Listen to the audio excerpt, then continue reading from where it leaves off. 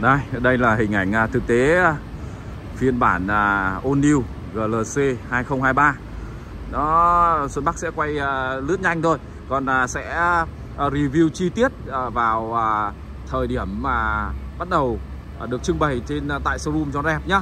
Thì hiện tại là chiếc xe này cũng đang chuẩn bị thôi. Mới để ở đây thì với uh, cái khoảnh khắc vừa rồi là cũng ngày mùng hôm nay là ngày mùng 9 tháng 5 à, cách đây một tiếng thì ờ, hãng cũng vừa công bố với à, cái phiên bản uh, GLC 300 này à, là giá niêm yết là 2 tỷ 799 triệu.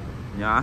Thì à, với phiên bản à, All New này có những cái điểm gì thay đổi nhiều như thế nào so với phiên bản cũ thì Sơn Bắc sẽ review chi tiết à, vào một cái video à, khi mà chiếc xe này được đặt trên showroom. À, ấy đây là sơn Bắc chỉ quay nhanh thôi. Quay nhanh cho quý vị cùng xem về cái cái góc vóc dáng đã. Đầu tiên đấy, mọi người có thể nhìn thấy cái đèn đuôi hậu này. Đó. Chúng ta hãy đi gần vào chiếc ờ, đèn đi, đèn của chiếc GLC này đi.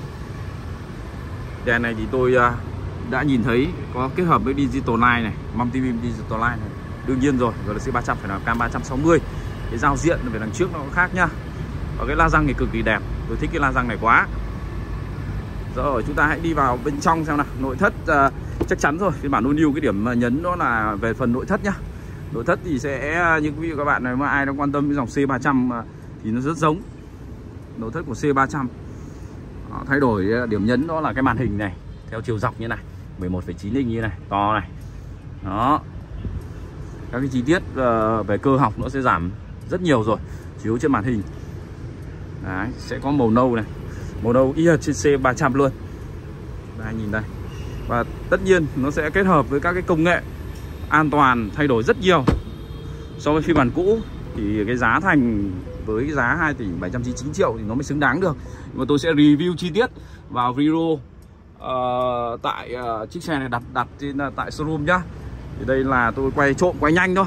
Để uh, gửi nhanh đến uh, quý khách hàng nào mà đang uh, mong chờ những hình ảnh đầu tiên của chiếc GLC cụ thể là GLC 300 phiên bản à, All New nhá 2023 nhá.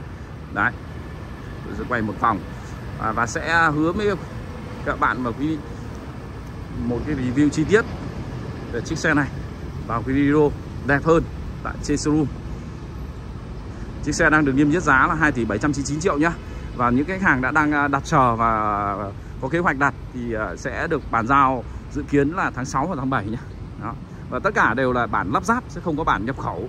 Như uh, tất cả các cái thông tin mà trước đó quý vị các bạn nếu mà ai quan tâm thì trước đó có nhiều thông tin mà có hàng nhập khẩu nhưng không có nhá. Tất cả là sẽ là hai bản chỉ có hai bản thôi GLC 200 Formatic và GLC 300 đây. Rồi tôi sẽ nhấn mạnh vào bản GLC 300 thôi. Formatic tôi chưa nói đề cập đến. Chào mọi người nhá. Hẹn mọi người về video chi tiết tiếp theo nhá.